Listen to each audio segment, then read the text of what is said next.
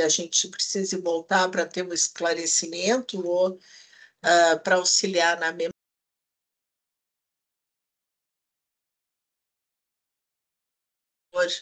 Uh, coloque o, o nome no chat e, e, e a quem representa, e, né, e eu vou uh, passar agora a. Ô, gente, tá? Só um pouquinho que eu vou aceitar mais um que está esperando, pronto. E eu vou passar agora a palavra para a Carol, que a Carol vai fazer as considerações sobre as contribuições recebidas na CP 1238, que na realidade é para fazer a modificação, uh, algumas, alguma alteração na IN 161. Carol, por favor. Eu peço, só um momento, eu peço que todo mundo deixe o seu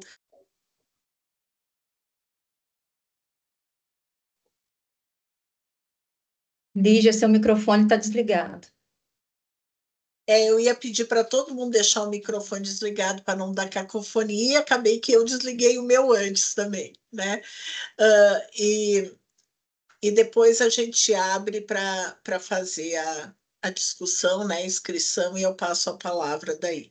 Carol, por favor. Boa tarde, pessoal. Vou, vou compartilhar a tela aqui com vocês para fazer a apresentação. Um minutinho.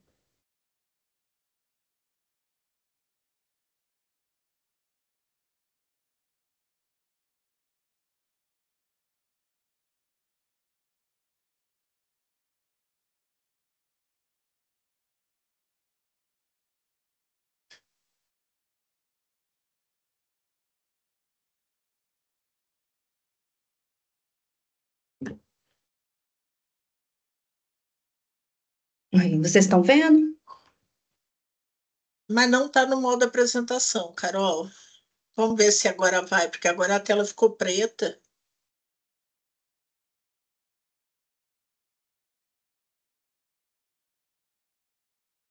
Agora sim, Carol. Tá, então tá. É, então, esse diálogo setorial Primeiramente, eu sou Carol, trabalho na GEARE e vou conduzir esse diálogo setorial juntamente com a Lígia. Então, o diálogo setorial, a gente convidou vocês para discutir as contribuições que a gente recebeu na consulta pública 1238 de 2024. Então, essa consulta pública, ela, ela propõe uma alteração na IN 161, né, que estabelece os padrões microbiológicos de alimentos. Então, assim, finalzinho do ano passado, início desse ano, a gente identificou um problema com relação aos critérios de é, aplicação dos critérios de aeróbios mesófilos e fungos e leveduras para alguns alimentos, né? Aqueles alimentos que, é, que, que, eram, que são elaborados a partir é, com adição de micro-organismos micro viáveis. Então, assim, da impossibilidade de, de alguns alimentos não atenderem o critério de mesófilos e nem de fungo e nem de fungos ou leveduras, a depender do microorganismo que está adicionado ali no alimento. Então, alguns exemplos são as massas frescas, elaboradas com fermentos biológicos, bebidas fermentadas que não passam por tratamento térmico efetivo antes da comercialização, e queijos, que alguns queijos eles possuem ali cultivos bacterianos, né, bactérias láticas, que é quando adicionados em produtos cárneos, esse produto cárneo ele não conseguiria atender o critério de mesófilo.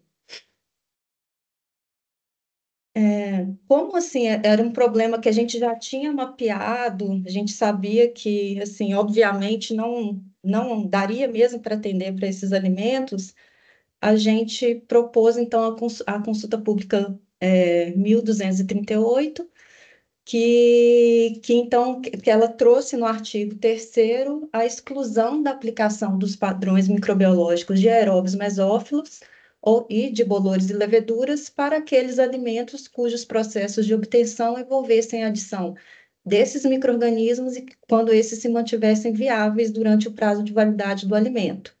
E também para aqueles alimentos contendo como ingrediente os alimentos é, adicionados desses microrganismos. Além disso, a gente revogou o parágrafo único do artigo 7 e o anexo 4 da IN 161, que trata do, daquele critério temporário, né, daquela transição do, é, do critério de carne suína. Então, era um critério que estava posto é, justamente para até as empresas atenderem a rotulagem, né, incluírem a, a, a, as questões de manuseio, uso e conservação na carne suína e passarem a atender o, o, o critério novo da IN 161. Então, esse artigo foi revogado também. É, aqui um slide para a gente mostrar as categorias de alimentos é, que, que, que, atualmente na OIN 161 que elas têm critério de aeróbios mesófilos, né? Então, são as categorias de alimentos para as quais existem, existe critério de aeróbios mesófilos estabelecido na IN 161. Então, a gente tem as carnes de aves, carne bovina e suína, leite e derivados, alimentos infantis, fórmulas para nutrição interal e erros inatos do metabolismo, cacau e chocolate. Então, é, os aeróbios mesófilos, eles são bactérias, é, é, um grupo amplo, né? Ele também, é, ele também é conhecido como contagem total de micro-organismos ou, ou contagem padrão em placas, né? E ele é um parâmetro que ele não contribui, ele não contribui diretamente na avaliação de segurança do alimento, né? Porque esses micro-organismos mesófilos, eles são micro-organismos que multiplicam preferencialmente é, em temperaturas entre 30 e 36 e que crescem a, na presença de oxigênio, então pode ser um mundo de, de micro-organismos. Então, esse critério, ele, ele, ele nos ajuda a, a avaliar o nível de contaminação daquele alimento, né, a carga de contaminação daquele alimento. E aqui a gente tem dois, dois, dois tipos de. A gente tem seis categorias, mas a gente pode separar é, quanto ao, ao, critério de aeróbios mesófilos em dois, em dois grupos, né? O grupo dos cárneos e os grupos dos alimentos é, em pó. Então, assim, no grupo dos cárneos, a gente tem uma tolerância bem maior para esses aeróbios mesófilos, né? É, geralmente está em torno de 10 a 5, 10 a 6, e para os produtos em pó, a gente tem uma tolerância bem menor, de 10 a 3 e 10 a 4. É, essa tolerância, essa, essa variação, ela foi estabelecida levando em consideração que esse tipo de microorganismo ele pode crescer é, é, é, na carne, né? A carne já tem uma microbiota desse presente desses micro-organismos e que vai continuar multiplicando mesmo em, em, em, refrigeração. Já o grupo dos alimentos em pó, a gente não tem grande variação desse, desse, dessa contagem de aeróbios mesófilos, né? E para bolores e leveduras, a gente também tem uma infinidade de categorias, acho que são 38 ou 36 subcategorias que a gente tem como critério bolores e leveduras. Os bolores e leveduras foram estabelecidos na, naquelas categorias em que é, propici, propiciam né, um, melhor, uma melhor multiplicação desses bolores e leveduras ou, ou, ou impede é, ou tem algum fator limitante para o crescimento de bactéria, então são, são geralmente categorias com atividade de água baixa ou com é, alta concentração de açúcar. Então, aqui para ilustrar as categorias. E a gente é, vai entrar agora nas contribuições recebidas na CP. É, a primeira contribuição que a gente recebeu foi é, em relação à necessidade de estabelecer quantidade mínima para o ingrediente adicionado. É, a justificativa é de que os, os fabricantes poderiam declarar a adição de pequenas quantidades de alimentos com o objetivo de diminuir o controle de qualidade de seus produtos. Então, é, naquele alimento, por exemplo, um produto carne que era adicionado de queijo, a gente teria que estabelecer a quantidade mínima desse queijo para permitir que, eles, que ele fosse isento é, da análise de aeróbios mesófilos. Assim, a gente concorda em, em, partes com esse argumento, né, que isso pode existir sim. No entanto, a gente tem uma variedade de produtos alimentícios e a possibilidade de diferentes misturas de, de ingredientes, né, em alimentos, que seria inviável estabelecer uma quantidade mínima é, de, é, de cada ingrediente que poderia ser adicionado, né? É, a gente também, olhando o que tem no mercado, a gente poderia favorecer ou desfavorecer empresas, né, usando um, critério que é, olhar só para o que tem no mercado, e a gente não encontrou nenhum pressuposto científico para aplicar e nenhum critério desse tipo em outros países. Então, apesar de, de ser relevante, a gente, a gente a gente não, não vê uma maneira de aplicar isso, de estabelecer uma quantidade mínima para um ingrediente adicionado.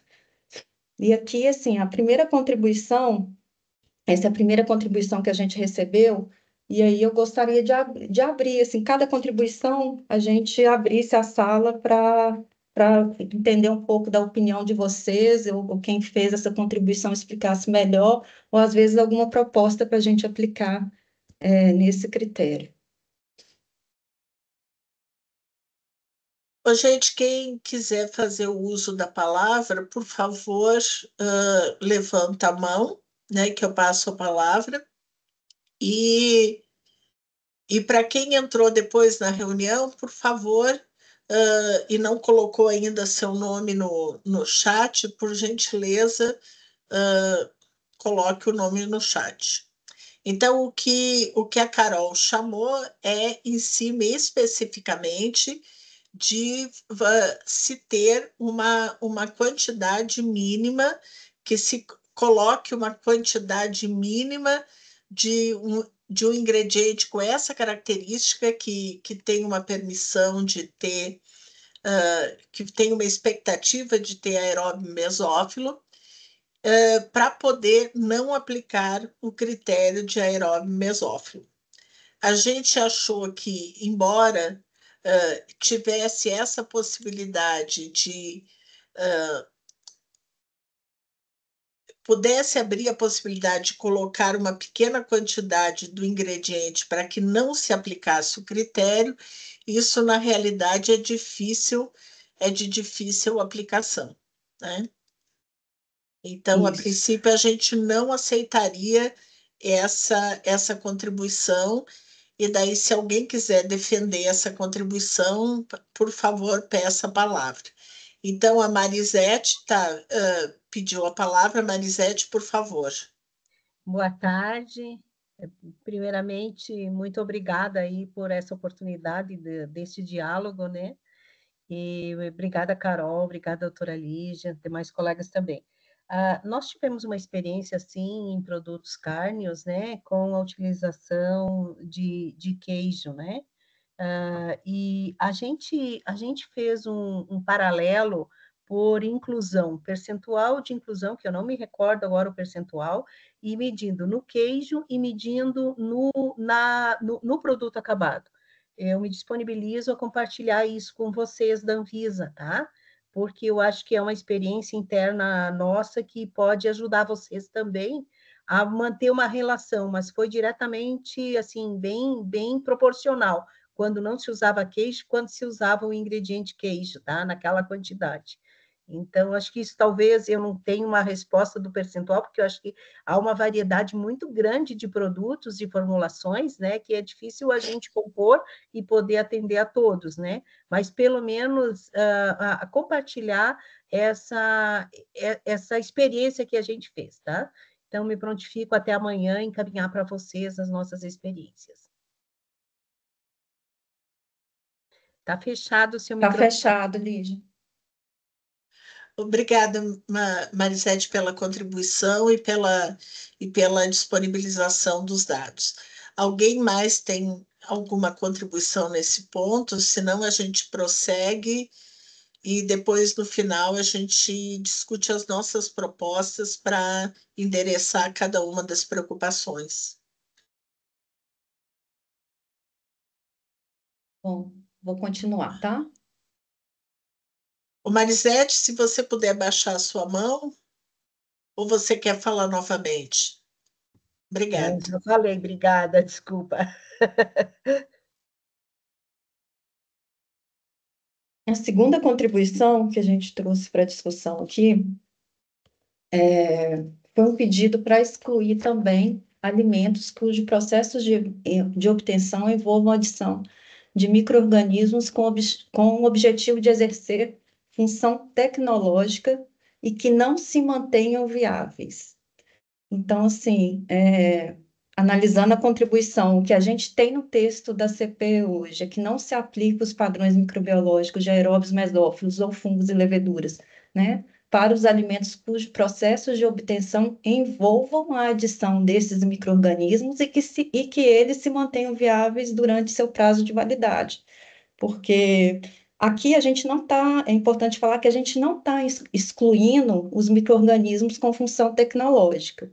Mas, é, se você tanto que nos exemplos, nos primeiros exemplos da apresentação, a gente, a gente citou alimentos é, fermentados, né, que, que são usados micro-organismos como fermento biológico.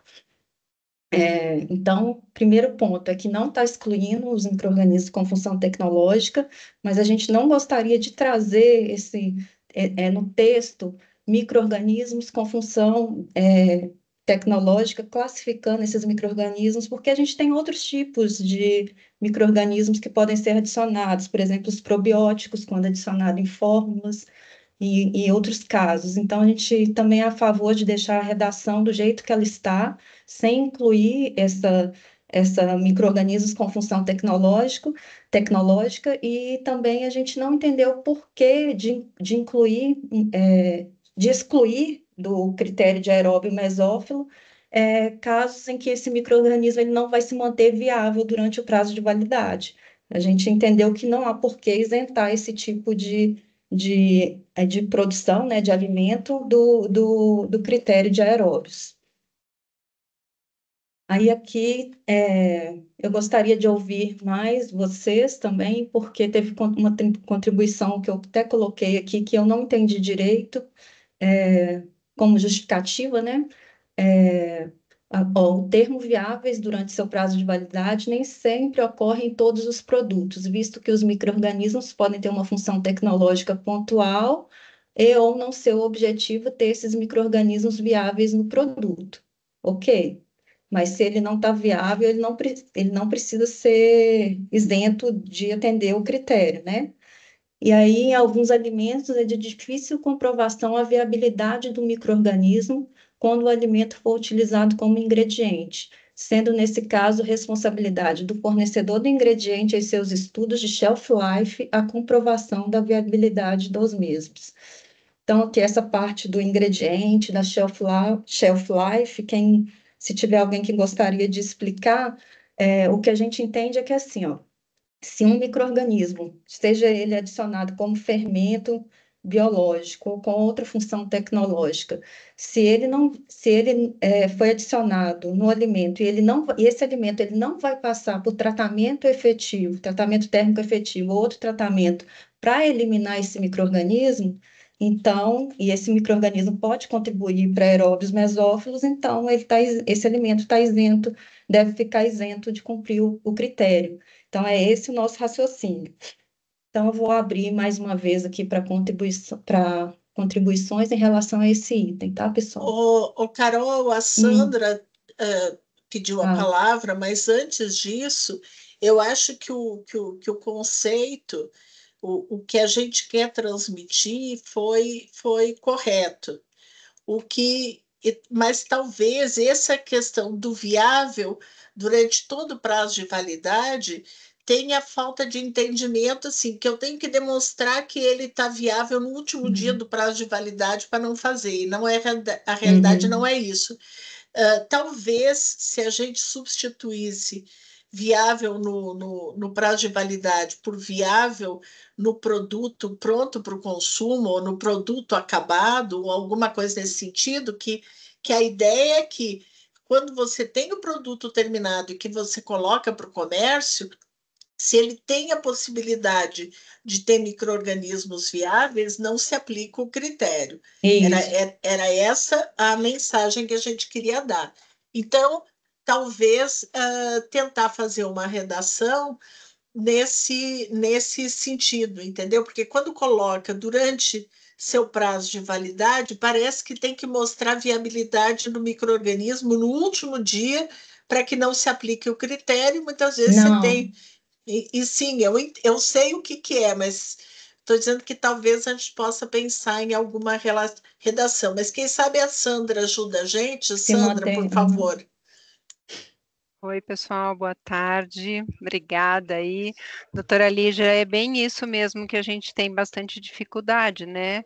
Essa questão de estar viável durante todo o tempo de vida, porque a gente pode ter um escalonamento dele, né? Um momento onde ele tem um número maior, justamente pelo pela sua função tecnológica, e depois, na sequência, ele cai, e lá no final da vida, às vezes eu não tenho mais esse microorganismo viável ali dentro. Então era nesse sentido. Tá? Eu não tenho, não trouxe uma sugestão de texto a não ser essa, né, de deixar como função tecnológica e ou que se mantenham viável, né? Então ele pode exercer e não existir mais, como ele pode se manter viável numa quantidade às vezes até menor, né? Que é o que acontece normalmente na curva de desenvolvimento. E se a gente colocasse que se mantenham viáveis no produto acabado? No alimento, né? É, no alimento. Porque é isso, assim, ele pode estar viável no primeiro, o que quer dizer que ou viável no primeiro dia ou no último dia, né, e que ele, e que ele foi adicionado, daí ele não teria, uh, ele não teria, uh, não se aplicaria o critério é que quando a gente tem um critério, um padrão estabelecido, né, às vezes eu posso ultrapassar isso, dependendo da fase em que esse produto for analisado, eu posso ultrapassar esse número que está dentro do critério estabelecido ou não. Mas eu acho que melhora já sendo no produto final. Produto final em vez de alimento? É, não, no alimento, em vez de ser é. viável durante todo o prazo de validade. Uhum. Eu vi que a Emira entrou. Emira, se quiser complementar.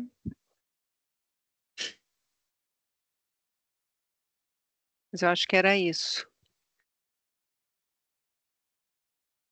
Então tá, a ideia aqui, a, a ideia não é, não é que façam testes de, né, para ver se esse, se esse, alimento adicionado tá. vai ficar viável ou não. Mas se tem a possibilidade dele estar tá viável, é, em algum exclusão. momento é isso, da algum vida momento, útil isso. do alimento. É isso que quer dizer, que ele que se existe a possibilidade dele, ele foi adicionado ali com uma função, e se existe a possibilidade uhum. dele estar viável em algum momento da sua vida útil, uh, esse critério não se aplica. É. Então ele não se aplicaria, tá bom? Isso. É, não, não se, aplicaria. aplicaria. Ele, ele só tá se aplicaria se, por exemplo, esse alimento ele foi adicionado, por exemplo, um fermento biológico, mas ele passou por pasteurização, por, por exemplo. tratamento. Por tratamento tá. térmico. Aí vai se aplicar, né? Aí vai se aplicar o critério. Tá. Ok? Acho que Próximo. sim, acho que aqui. Sim, posso continuar então, né? Vamos lá.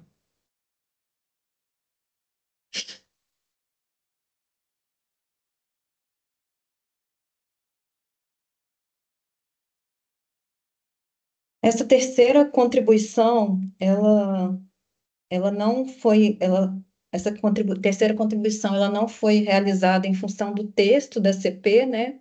Mas eu achei por bem trazer e avaliar a contribuição, porque ela está relacionada com, com contagem de aeróbios mesófilos em produtos carnes, né?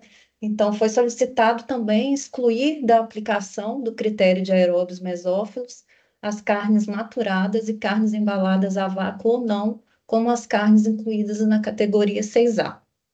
Então, a solicitação chegou desse, desse, com essa nomenclatura: carnes maturadas e carnes embaladas a vácuo ou não, como as carnes incluídas na categoria 6A. Então, aqui, é, primeira, e veio uma fundamentação é, científica, né, para a exclusão dessas dessas carnes, mais é, precisamente para exclusão da carne maturada, não da carne in natura. Então, a primeira dúvida que a gente ficou, assim, na hora de avaliar essa contribuição, é se essas carnes que estão aqui, carnes embaladas a vácuo ou não, se referem às carnes in natura, ou se aqui a solicitação era, era somente para carne maturada, né? É, se a carne suína ela estaria incluída ou não nessa solicitação. E é, se essa carne maturada, é, se incluiria a carne maturada a vácuo ou a seco, né? E aí, porque assim, a fundamentação que a gente recebeu é, foi é, justificando bem a exclusão da carne maturada é, da carne maturada, mas é, o que a gente entende hoje, que a gente tem é, regulamentado né, pelo mapa, é a, a, produção de carne maturada a vácuo. Nós não, nós, não, não foi indicado, nem foi, nem, nem assim, a gente achou é, portaria do mapa que, que, que regulamentasse a carne maturada a seco, porque são processos completamente diferentes, né? Então, o primeiro ponto foi esse, é saber se, é, se a, porque a, toda justificativa também inclui a carne maturada a seco. Então, era importante saber se, a, se, o, se o pleito é só para carne maturada a vácuo ou não, se inclui carne in natura ou não. Então, a gente sabe que a maturação ela, ela é um processo de amaciamento da carne, né? É, amaciamento enzimático realizado pelas enzimas que estão ali na carne e também pelos micro-organismos da microbiota do, da, da própria carne. Quando você embala, agora falando só da maturação a vácuo especificamente, quando você embala essa carne a vácuo, você tem ali é, uma anaerobiose, você vai favorecer o crescimento de bactérias láticas, né? E essas bactérias láticas, elas vão, é, elas, elas, essas bactérias láticas vão produzir essas enzimas que vão amaciar a carne e dar aquele, aquele, aquela função sensorial da carne maturada. Então, a gente sabe que essas as bactérias láticas, elas são realmente é, é, elas são realmente. É, acontece essa, esse aumento, né, essa multiplicação delas na, na, no, na carne maturada a vácuo, só que a gente, a gente tem bactérias láticas que são benéficas, que vão é, produzir esse, essa alteração sensorial, e a gente tem bactérias láticas que vão atuar para deteriorar a carne, né? Então, assim, se esse processo de maturação ele não for bem feito, é, respeitando temperatura, atividade de água, tempo total que a carne está ali maturada, a gente, a gente pode ter é, variações, né, é, com relação ao resultado dessa maturação, né, é, com relação à extensão do impacto e a direção de, dessa maturação. Então, primeira, primeira coisa aqui dessa contribuição, a gente gostaria de saber, assim, se inclui as carnes in natura, se o pleito inclui as carnes in natura, o que seriam essas carnes embaladas a vácuo ou não, ou se ele está se referindo, referindo só às carnes maturadas, né, embaladas a vácuo ou não, e aí entraria também a carne é, maturada a seco, é, ou se seriam todas as carnes da categoria 6A. Então, é, é vou abrir aqui para ver o que vocês têm para explicar.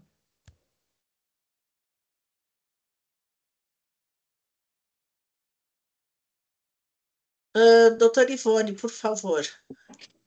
É, boa tarde, obrigada boa pela tarde. oportunidade. Eu tenho, eu mandei uma sugestão através da Bian, muito parecida com essa que você apresentou, Carolina. E, na verdade, a contagem total não deveria ser aplicada nem para carne maturada sob vácuo e nem para maturada a seco, porque é, em exposições de ambientes diferentes, elas têm um mesmo resultado. Elas favorecem o crescimento de micro-organismos que vão através das suas enzimas e da sua multiplicação, favorecer o amolecimento, o amaciamento dessa carne, além de conferir também o sabor e o aroma. Então, tanto para a maturada a vácuo, como para aquela maturada a seco, eu acho que a contagem total não deveria ser aplicada. Ivone, mas a maturação a seco, ela é permitida no comercialização de carne maturada a seco? Tem regulamento, mapa para isso? Padrão de identidade e qualidade? Tem, por exemplo, a carne suína, O presunto parma é o exemplo clássico de uma maturação a seco. Não, mas aí o presunto parma entraria, entraria é um produto curado, né? Entraria. É, entraria nos curado, curados, não entraria maturado. na categoria, é, mas não entraria na 6A, não. Porque na 6A ali são as carnes cruas. É... Então, também seria, a, a proposta também está incluindo as carnes suínas, né? Isso. Uhum, era outra pergunta carnes suínas. Mas não tem, né, padrão do mapa para maturação a seco? Não, não tem. Tá. Que eu conheça, não. Tá bom.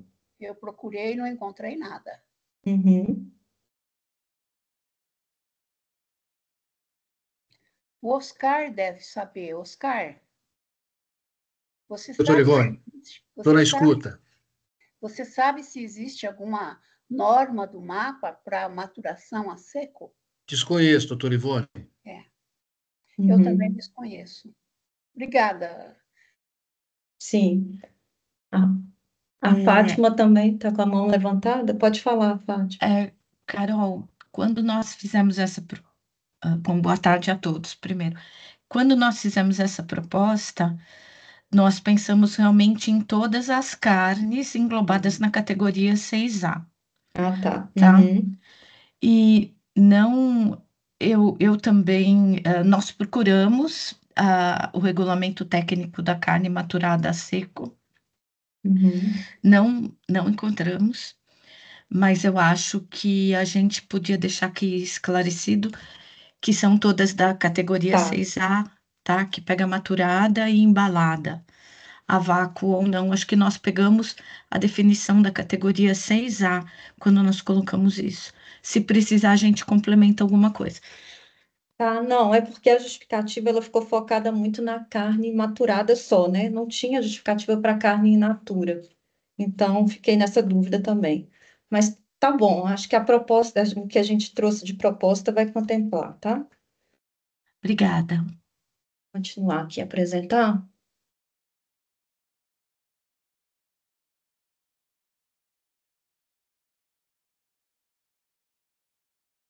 Então, é, nas contribuições também a gente recebeu um documento da, da União Europeia, da, da Autoridade Europeia de Segurança, em Segurança de Alimentos, que, que é de 2023, sobre, sobre carne maturada, e lá é, a conclusão que eles chegaram, entre outras, maturação sob condições controladas, ela pode atingir cargas bacterianas semelhantes ou menores que aquelas previstas para carne fresca. Então, o processo de maturação ele tem que ser conduzido de forma que a gente tenha a mesma qualidade da carne crua ou da carne fresca, né? Ele também ali ele mostrou alguns estudos com resultados de bactérias totais, né, que variavam entre 2 logs e 6 logs, então bem próximo do que a gente é, tem proposto de, de critério para para os produtos carnes, né, que é 10 a 6, o máximo, e ele indicou como preocupação o crescimento de listéria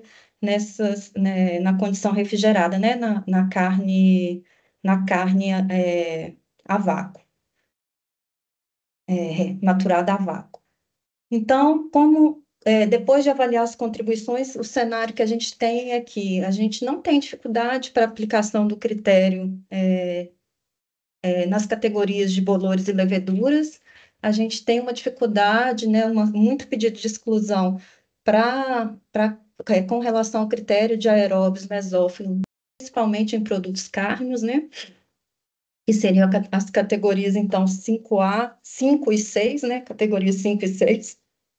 É, a gente, como discutiu aqui, a gente não tem como estabelecer uma quantidade mínima do ingrediente adicionado, a gente teria que olhar para cada ingrediente, cada alimento produzido e, e, e ver, é, fazer simulações e pesquisa nisso para poder estabelecer uma quantidade mínima. É, realmente, assim, a gente achou, quando a gente achou que esse pedido era só para carne maturada, a gente achou que não seria o caso, não seria é, factível tirar só a carne maturada, uma vez que a carne maturada ela está no mesmo padrão, no mesmo critério, junto com as carnes in natura, e nem a nomenclatura que usa na rotulagem é, é, é capaz de separar, né? A gente consegue separar as duas.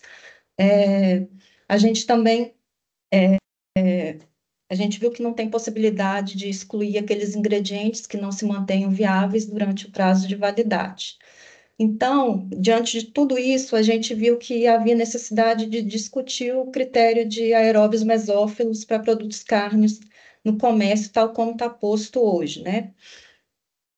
Então, é, é, o estabelecimento desse critério até o último prazo de validade, então, dos mesófilos, ele, ele não é um critério muito assertivo para, considerando que a microbiota da carne, ela já tem esse tipo de microorganismo e que, e que o tempo de prateleira da carne vai permitir a multiplicação desse microorganismo na carne, então a gente teve que, para esses produtos, para esses alimentos, colocar um critério bem alto, né, 10 a 6. É, e a gente fez isso com o intuito de, de separar aquelas carnes que já, já estariam em processo de deterioração. Né? Esse, essa foi a finalidade de colocar o critério de aeróbios mesófilos em carne é, na, na, na, RD, na, na IN 161.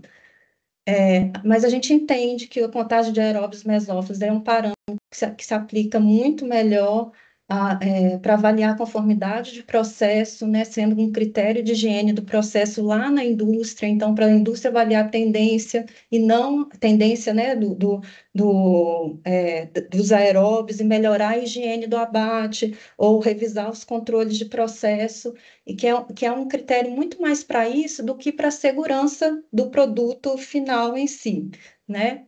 Então, é, eu tenho quase certeza absoluta que a maioria de vocês é, tem esse critério estabelecido né, para processo já dentro da indústria e que esse, esse, esse, esse critério ele é útil para ser aplicado então dentro da, da indústria.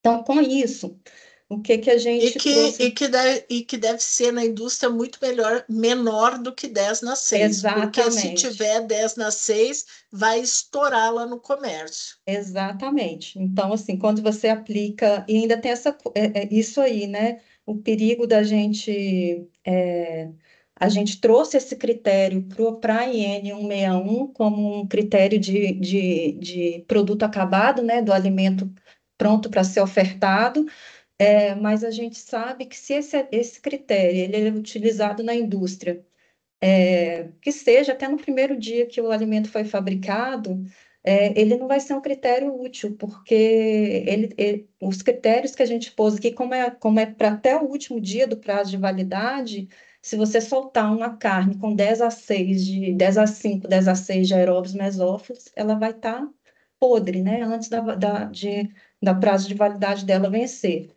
Então, esse, esse critério é um critério que é aplicável à indústria, não nos limites que estão aqui na IN 161, bem menores, né? E, e, e por isso a gente vê que tem essa dificuldade né, de aplicar esse tipo de critério no produto final. Então, o que a gente trouxe aqui como proposta para o grupo, né, para o diálogo setorial, é que a gente mantenha o texto da, do proposto na CP, então, só com aquela alteração que a gente discutiu é, com relação aos micro-organismos viáveis, lá na contribuição 2, que a gente mudou para alimento, né? Que é a, da Sandra, que a Sandra é, colocou. É, e a gente propõe também retirar os critérios de, de aeróbios mesófilos das categorias 5 e 6. Então, as categorias 5 e 6 são as categorias de carne de aves, carne bovina, suína e outras. Então, é, tirar todos os aeróbios mesófilos dessas, é, das das subcategorias A, B e C, né? E, e é, também discutir a inclusão de frase, de uma frase na IN 161 que vai remeter à deterioração dos alimentos, né? Que o alimento ele não pode apresentar alteração ou deterioração física, química ou organoléptica em decorrência da ação de micro-organismos, reações químicas ou físicas. Então, agora eu vou abrir, assim, para contribuições, mas aí eu gostaria de, de por, item aqui. Primeiro, manutenção do texto proposto, na, agora não é mais manutenção, né? É, a gente vai alterar aquele finalzinho do texto da CP, é, conforme a contribuição aqui da Sandra, seria a única alteração do texto. Aqui. é, tirar esse durante seu prazo de validade para deixar que se mantenham viáveis no alimento. Tá? Então, com relação à redação que, que foi para a CP, a única alteração seria essa. Tá? Lembrando que isso não valeria para a questão da carne, porque na carne não está, mas isso. valeria para outros tipos de alimentos que nós que, é, que a gente tem aeróbio uh, mesófilo. Que, que, tem, que, que tem lá o padrão para mesófilo, mas que eventualmente você teria, inclusive, adição de micro-organismos, né, como alimentos com probióticos. Isso, exatamente. Então, primeiro a gente é, não, não valeria mais para carne se você for aceita a retirada de, dos aeróbios mesófilos do, da IN 161. Mas esse ponto se aplicaria para os outros tantas categorias de alimentos que a Carol mostrou ali, que você tem adição de microorganismo para uh, ou na produção do alimento, ou porque você uh, ou porque você adicionou algum ingrediente ou algum uh, algum microorganismo, né, com alguma função, né, como o caso de probióticos. Alguém tem alguma consideração em relação ao texto da CP? Mais alguma alteração? Carol? Oi, Ivone. Você poderia ler como vai ficar esse texto? Porque está tão pequenininho aqui que eu não consegui ler. Então, aqui, ó. A única alteração seria aqui, ó. Não se aplicam os padrões microbiológicos. Isso que você está falando? Não se aplicam os padrões microbiológicos de aeróbios mesófilos para os alimentos cujos processos de obtenção envolvam a adição desses microorganismos e que se mantenham viáveis no alimento.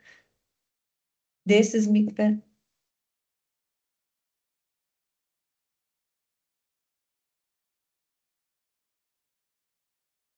Aqui, ó.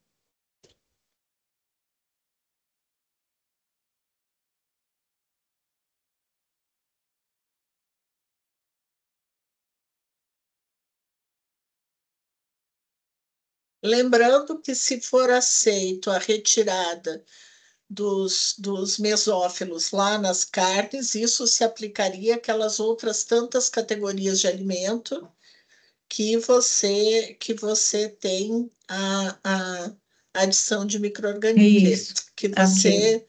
espera encontrar microorganismo viável.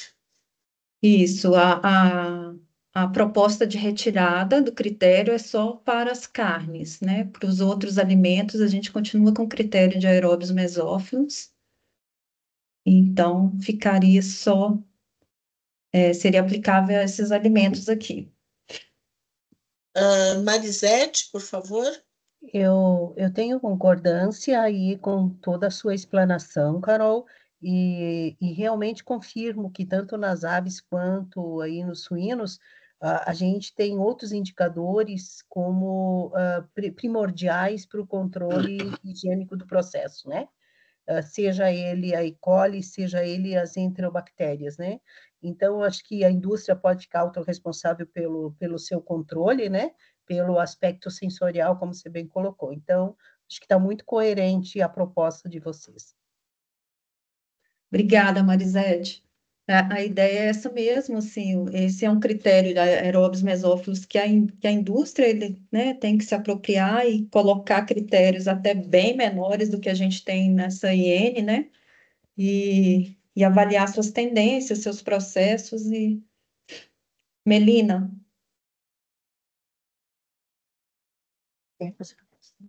Oi, oi, Carol. É, oi.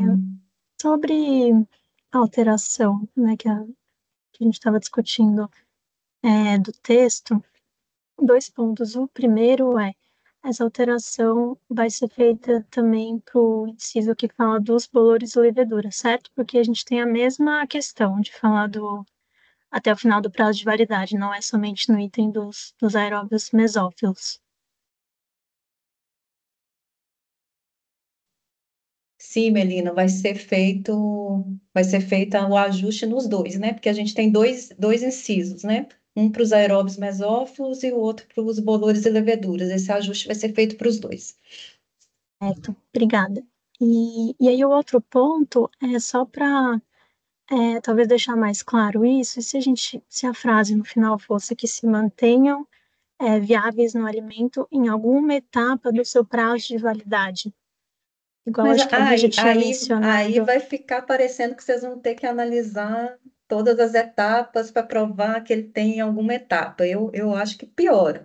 Em alguma etapa do seu prazo de validade. Eu acho que essa redação aqui piora, mas a gente pode abrir para considerações do, é... do grupo. Ou, ou, então, Carol, é, uma outra alternativa seria deixar só esse esclarecimento no documento de perguntas e respostas, é, só para não ter pode, dúvida mesmo. Sim, a gente pode deixar isso aqui, em alguma etapa, esse esclarecimento lá. Tá bom, obrigada. Eu acho que fica melhor, gente, né? perguntas acho. e respostas, que aqui uhum. só vai confundir. Eu acho que só confunde também, Sandra. É. Tondo? Boa tarde, pessoal. Eu, eu, gostei do texto, só fiquei pensando se ali, depois de envolvo a adição destes micro-organismos, não ficaria melhor a adição de micro-organismos. Na verdade, é porque tem que ser adições de micro-organismos que vão impactar lá nos aeróbios mesófilos, né? Exato. né? Não é, é qualquer micro-organismo, entendeu? Não é qualquer qualquer microorganismo. Por exemplo, se eu adicionar aqui, é, se eu adicionar uma levedura, não vai impactar em aeróbios mesófilos, entendeu? Pois é, parece que aqui a gente está adicionando aeróbios mesófilos, entende? É, assim os alimentos cujos processos envolvam a adição de micro-organismos. Pois é. Que possam impactar uhum. na contagem de aeróbios mesófilos. Perfeito.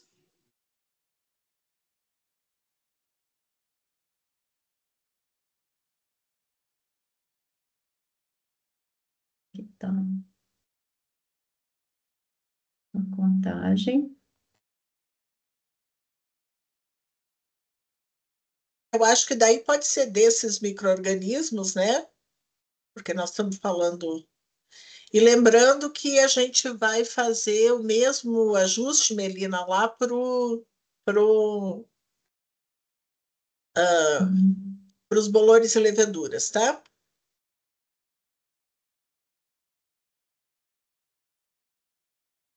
Mesófilos que se mantenham viável.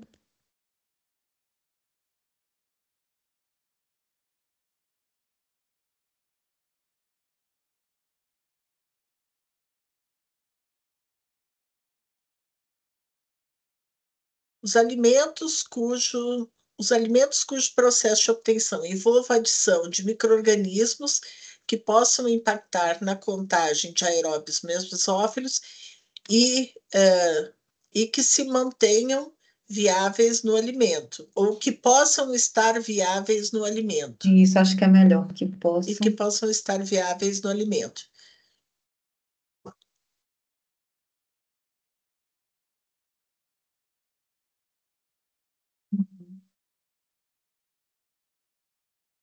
E aí, pessoal? Estão de acordo? Sim, acho que ficou melhor. Sim, de acordo.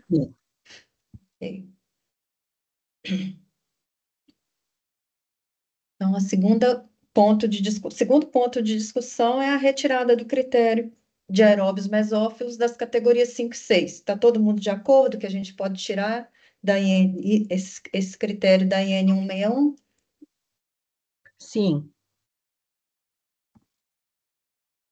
Sim. E o último ponto é com relação à inclusão dessa, é, dessa frase com relação ao alimento deteriorado, né? A gente colocou justamente esse critério de aeróbio mesófilo para separar a carne deteriorada da não deteriorada, então a gente acha que seria importante trazer uma frase dizendo que esse alimento ele não pode apresentar qualquer alteração ou deterioração física, química ou organoléptica. Aí eu vou abrir agora para esse ponto, pra, com relação à inclusão dessa frase. Marisete, pode falar. Eu, eu sugiro o alimento não pode apresentar alteração sensorial ou, entende, dando alternativa para tornar o processo bem bem claro, alteração do que, né? Alteração sensorial ou, deterioro, ou e continua o resto, né? Isso. Obrigada.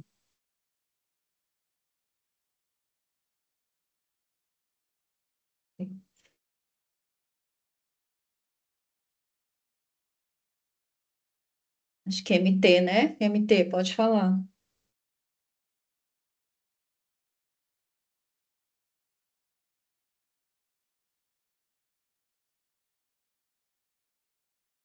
Não? Quem está com a mão levantada, Lígia? Olha para mim. É a Maria Tereza, ah. Marisete, mas a Marisete já falou e Marisete já falou, né? E a Maria Tereza. Maria Tereza, abre o microfone. Não, já está aberto. Está com problema para falar? Acho que vocês não estão ouvindo. Uh, agora estamos. Não é, porque agora eu tirei o microfone. Só pedir para a Carol colocar no modo da apresentação, porque para mim está muito pequeno. Pronto. Pronto. Obrigada.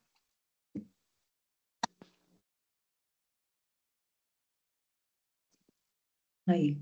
Carol, por favor, isso. Volta nesse slide que a gente quer só ver como ficou.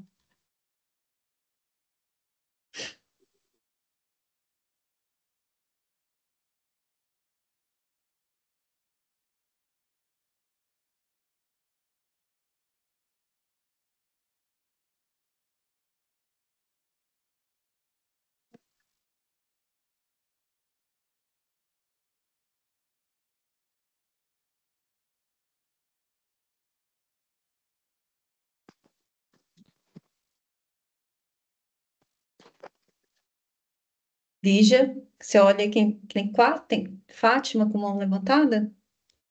Eu tô. Uh, a Marisa, primeiro. Eu imagino que a Marisete e a MT já falaram. Marisete, você quer falar de novo? Não, só que eu não estou conseguindo baixar o. Tá bom, então é Marisa. Eu também não estou conseguindo apagar. Boa tarde a todos.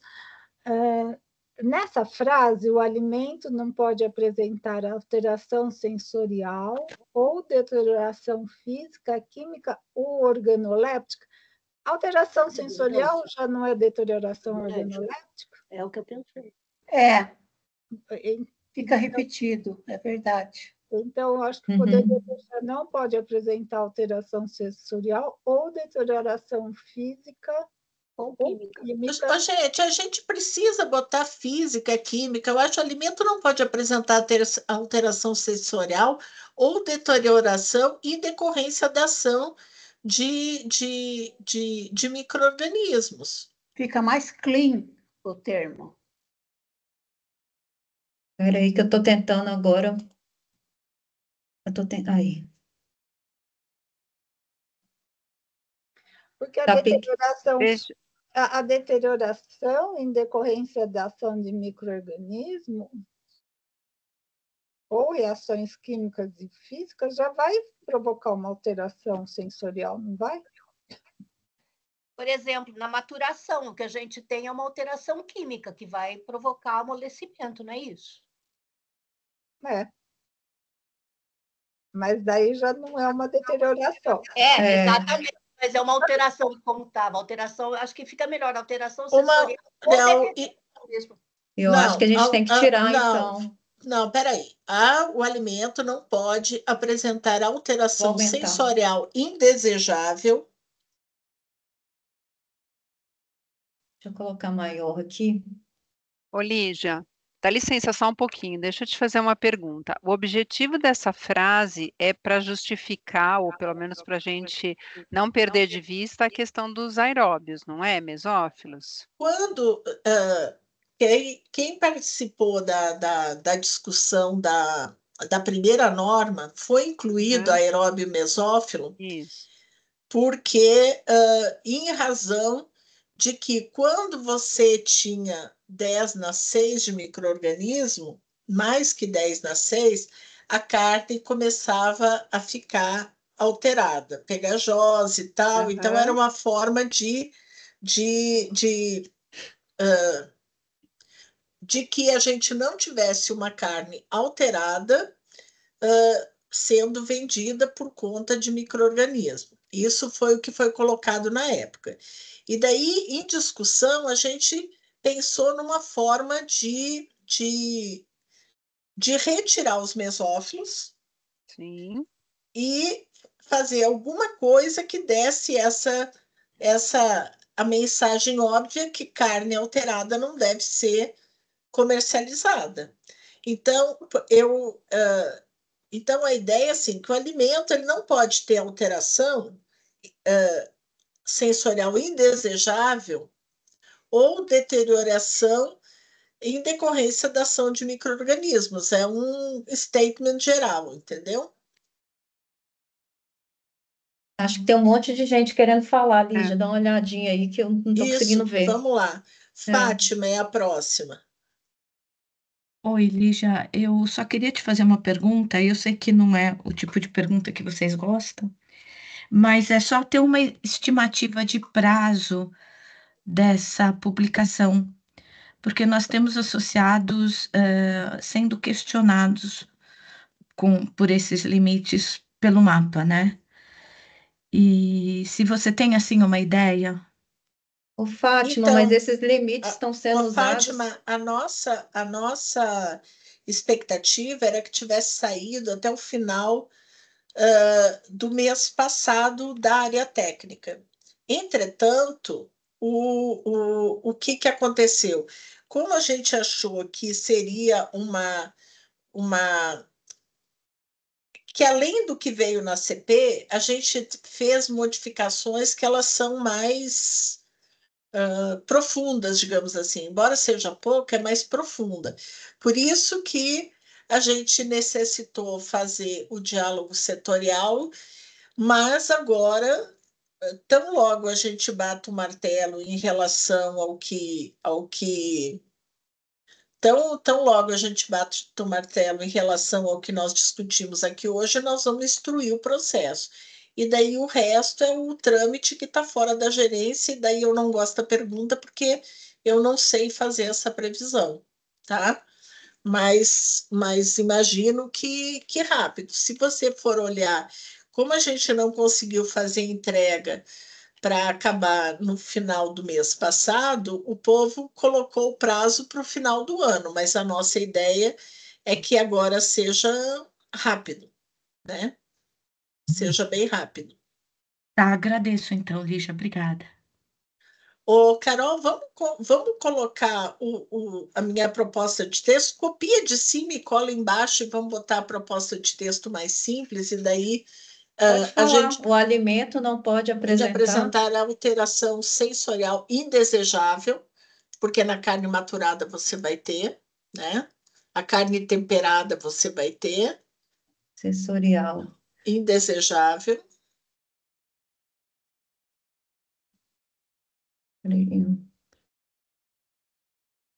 Ou uh, deterioração em decorrência de micro-organismos. Eu acho que a gente não precisa dizer o tipo da alteração que, que vai ter, entendeu?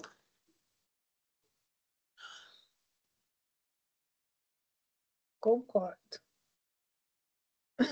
Como é uma norma de microbiologia, né? Então, o alimento não pode apresentar alteração, alteração sensorial indesejável ou deterioração em decorrência da ação de microorganismos. Então, agora, uh, algum comentário em cima dessa proposta, Marisa? Não. Eu acho que ficou melhor. Algum outro comentário, Marisa? Não. Então, então baixa a mãozinha. Tudo bem, gente? Meu nome é Márcia Ferrari, eu sou da Copacol e eu gostaria de aproveitar só assim. Quando a gente lê essa frase para nós, é, que, que, temos essa, essa noção microbiológica, essa noção técnica, é, o alimento não pode apresentar alteração sensorial indesejável, ok. Mas quando a gente pega uma reclamação de cliente, e gostaria de aproveitar o Oscar, a questão da jurídica, tá? O que é indesejável para mim não é indesejável para vocês. Então, ela fica muito aberta, tá? Porque, é bem, assim, é bem subjetivo. Sensorial é, é, é, é já está falando, o sensorial, ela é para cada um. Ela, então, eu não sei, a gente está pensando em colocar essa frase porque nós estamos tirando né, aquela parte é, dos mesófilos. Mas a minha pergunta, realmente há necessidade de ficar essa frase né, né, nessa, nessa legislação? Não seria melhor no perguntas e respostas? Porque quando a gente coloca isso, gente, é, eu trabalho muito com, com, com, reclamação de cliente, eu sou responsável pelo saque, resposta junto com advogados, e para eles isso aqui é um prato cheio, sabe? É, sinceridade vai em cima disso aqui. Ah, o meu cliente, né, uma reclamação vai vir. Ah, mas a carne está com alteração sensorial indesejável, então ela não presta. Daí você tem que ficar comprovando através de análise, comprovando um monte de coisa que não, ela está dentro do padrão. É que nem o maturado que vocês comentaram. Eu, assim, eu tenho horror de carne maturada, porque para mim é já cheiro de podre, né? Mesmo sabendo tecnicamente que não é. Então, a minha pergunta é: realmente precisa disso? O porquê levamos a colocar essa frase? Né? E Oscar, se quiser ir como advogado e veterinário falar. É, é, você me botou numa gelada agora, viu, Márcia?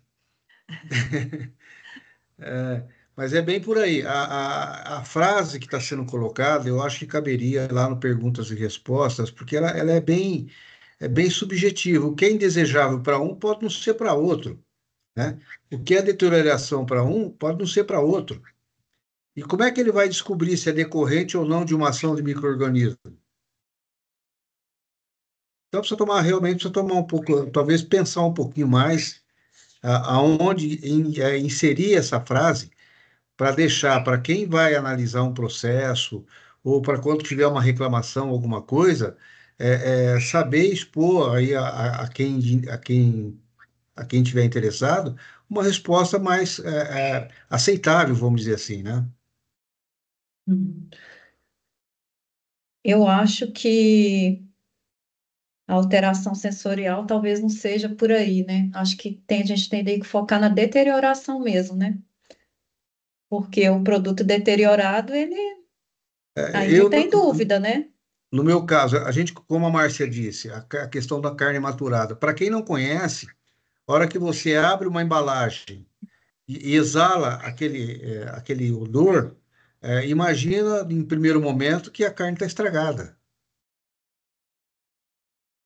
Uhum. É, mesmo as Ô, carnes, gente, né? mas isso, independente ou não tá na norma, se o consumidor abrir e achar que ela está estragada, ele vai, ele vai reclamar. Eu lembro que quando a gente começou a ter tipos diferentes de queijo no Brasil, tinha muita reclamação e devolução no supermercado de, de queijo de, de, de cabra que é fedido e que daí até o consumidor acostumar com aquilo, né, gente? Então, assim, independente de ter isso colocado na norma ou não, isso é uma coisa que, que vai acontecer, Não, né? eu con- concordo, Lígia, mas a minha preocupação é uma coisa. Quando a gente coloca numa legislação, é, é, os advogados, eles não vê, está na legislação, tá?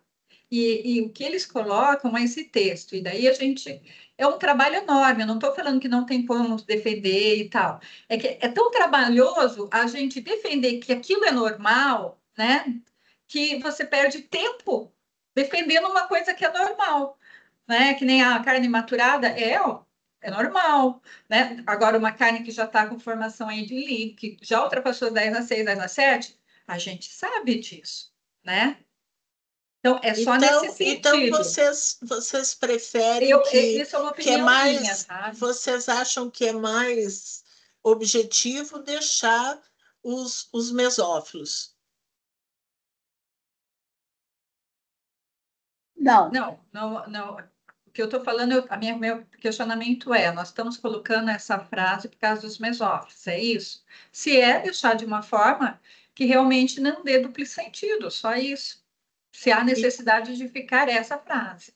E qual que é a sugestão? Tirar o sensorial, deixar só deterioração? Pode ser? Deterioração. É, eu acho que a deterioração está muito melhor do que sensorial. Porque já é uma, uma, uma, uma questão que a, uma carne deteriorada, ela não é uma carne maturada, ela não é uma carne com odor forte, ela não é uma carne que realmente você olha para ela e qualquer pessoa, no meu sentido, para mim, ela sabe o que é uma carne deteriorada. É, a sensorial ele remete a odor e sabor, né? E quando você, quando você fala deterioração física, ele já está implícito ali naquele momento aquela aparência já de repugnância, alguma É. coisa que, que Isto, isto, bem isso. Ah, gente, Letícia, por favor. Oi, pessoal, boa tarde. Boa É, tarde. Lígia, oi, tem um tempinho que a gente não se vê. Caroline, prazer. Letícia, coordenadora aqui da Coordenação de Caracterização de Risco aqui do Ministério da Agricultura. É, pessoal, boa tarde aí para quem é, os conhecidos, né? Enfim, É, eu queria só fazer uma pontuação aqui nessa questão e realmente concordar com a Márcia no que ela está falando. É, porque o que que acontece? A partir do momento em que a gente tira, retira-se, né? Vocês, na proposta retirada do critério objetivo, acho super ok. A gente tem outras formas de, de também fazer um controle em relação a isso. Tudo bem. Só que aí, justamente, a gente vai pegar nessa parte que ela está falando. A alteração sensorial é um critério muito subjetivo. Então, a subjetividade numa normatização, ela é um pouco. hum, não é a palavra melhor que eu queria falar, mas ela é um pouco perigosa. Então, assim, o que que eu acho? Como deterioração, o que está escrito ali, deterioração física, química ou organoléptica. O organoléptica abrange textura, abrange odor, abrange sabor, abrange é sensorial. diversos. Isso, é como se fosse um sensorial, né? Então, assim, eu acho que a retirada do sensorial e agora como só a alteração sensorial e ficar como deterioração física, química, organoléptica, acho que fica muito legal, abrange tanto, né, o, o, o lado da Anvisa que está propondo e abrange tanto o lado, né, do, do fiscalizado, aí eu acho que fica bem ok para todo mundo. É só uma pontuação aí que eu queria tentar fazer ali, já- justamente pela palavra ali organoléptica já está, né, a- é, atribuída aí na, na norma. Obrigada, Letícia. E- Carol, então vamos, coloca a sugestão da, da Letícia. A sugestão Então- dela já é aqui, ó, como está escrito aqui. Só tirar o, o sensorial eu já tirei. E eu acho que a gente tem que continuar, não, não fechar em ação de micro-organismos, porque isso aqui, para determinar que foi do micro-organismo, se ele está alterado já com é, física, por exemplo, já tem aquela camadinha de limo, slime ali na, na carne, ele já está deteriorado. Então, acho que a gente deve manter todo o texto como na, na primeira proposta aqui, ó. E não a segunda aqui que fecha. Ah, tá, tá alteração a mais ali. Não pode apresentar deterioração, vai direto para deterioração. Foi essa a proposta, não, não, não foi, Mi? Ela pediu para tirar o sensorial. Mas tudo pode Hein. Letícia, qual que era a tua proposta? A proposta é essa questão do sensorial mesmo É. ser retirada. Que já foi, né? Na, naquela Já, proposta uhum. ali já foi. Já Tá. tinha, é, porque estava assim, alteração ou de- alteração sensorial. Eu tirei o sensorial e deixei alteração ou deterioração. Hum. Acho que é Adriana, né?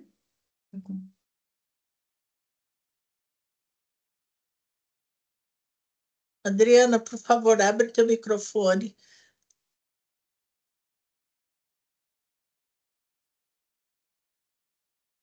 Estão me ouvindo? Ah.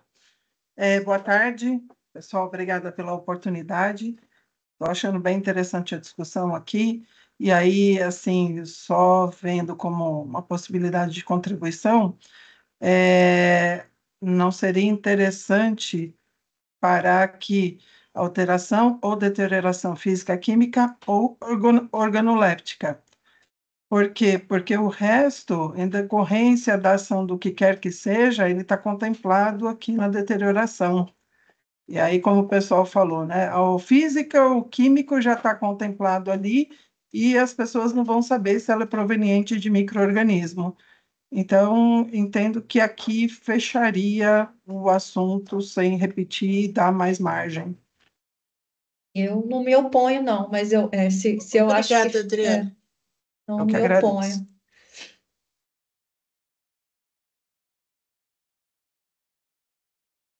Eu também concordo aqui com a, com a sugestão, porque quando você emite uma palavra microorganismo, para leigo, dependendo da situação, ele vai entender que pode ter alguma coisa que foi induzido ali, é, e sugerir, em dias atuais, é, sugerir alguma coisa que não, é, não seja, não seja bom, pelo menos, né? Uhum. É, eu concordo, acho que ficou bom assim, gente. Oi, gente. Então, a- ainda tem a Elilia. Perdão se eu, se eu, sou- se eu pronunciei teu nome errado. Boa tarde, Elília. Não, já, é, ah, uma contribuição também rápida. Agora, quando tirou, eu estou super de acordo com todos os colegas aí que falaram sobre a gente deixar mais clean essa frase para não ficar perigosa. Até, na verdade, sou, sou, sou a favor, a Márcia, que colocou a posição de precisa ter a frase, né? A, a, a legislação ela traz toda a questão dos micro-organismos patogênicos, aquilo que vai causar questões de segurança dos alimentos. Então, um alimento deteriorado é um alimento rejeitado pelo consumidor. Na hora que ele olha, ele não consome, né? A preocupação é, de, do consumo, a pessoa vai perceber e ela não, não, cons- não consome esse produto. Então, eu só reforço o que a, Lígia- o que a Márcia falou, falou se precisa ficar a frase. E se precisar ficar, eu só queria comentar com vocês agora, tirando tudo, ficou alteração sozinha. Aí ficou ali, o alimento não pode apresentar alteração. Depois ficou o ou deterioração. Então, ele não pode apresentar alteração. Que alteração? Então, se a preocupação é uma questão de direito, de questão de fiscalização, questão de, de termos que podem levar à subjetividade, a palavra alteração sozinha ficou subjetiva igual, né? Então, tá, tá, tá acho que todo mundo está mesmo tá preocupado com a mesma coisa, de não deixarmos frases soltas que alguém possa fazer o uso disso de maneira inadequada, né? Então, o alimento não pode apresentar características de deterioração. Típicas de deterioração talvez fosse algo que morria na deterioração e, e é isso. Ah, mas assim. apresentar Contribuir. características ou apresentar deterioração, mesma coisa. É. Não pode apresentar de- deteriora- Características deterioração de física, química ou organoléptica. É, eu acho que direto Obrigada. fica, fica melhor, É. né? O alimento não pode apresentar deterioração física, química ou organoléptica. Uhum. Ponto, né? Ficou clean, Sim. direta. Uhum. Uhum.